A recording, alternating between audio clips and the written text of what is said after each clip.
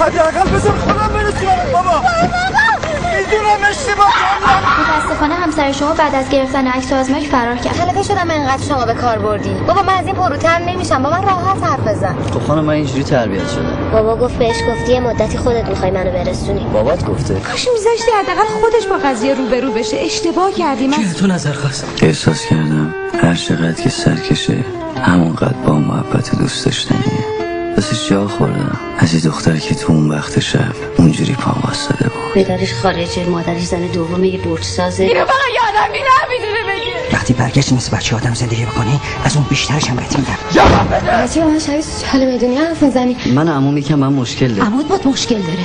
چرا شهرش باید دامن ما رو بگیره؟ تو چرا نمی‌فهمی؟ خیلی خوبم می‌فهمم. این تویی که نمی‌فهمی. برو رد کارت. برو تو بیرون! چرا پاشا بیا بیرون. تو تلفن بهم گفت چرا نشستی؟ برو سیاوشتو نجات بده. سه هزار بار میگم که اگه من نبودم سیاوش اینجوری نمیشه. تا کجا فهمیدی؟ اگه به گرانی کردم اگه به خواستم اگه خودم خواستم. برزگی اگه با تو نیستم. به جام فکر کردی؟ به جام تصمیم گرفتی؟ به برنامه دادی عاشق کیشم. زندگی من یعنی لحظات خوش نه روزای خوش. خونه می‌خوای ماشین می‌خوای شغل می‌خوای. دختر چشتو گرفته؟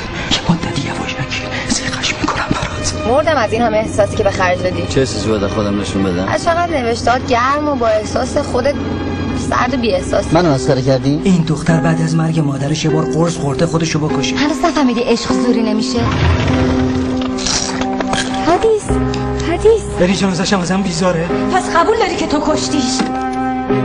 نمی‌فهمم چرا هنوز زنده می‌خوام یه بار دیگه بهت قول بدم. یه بار دیگه. وقتی یکی رو دوست داری؟ یه بار بهش فرصت میدی.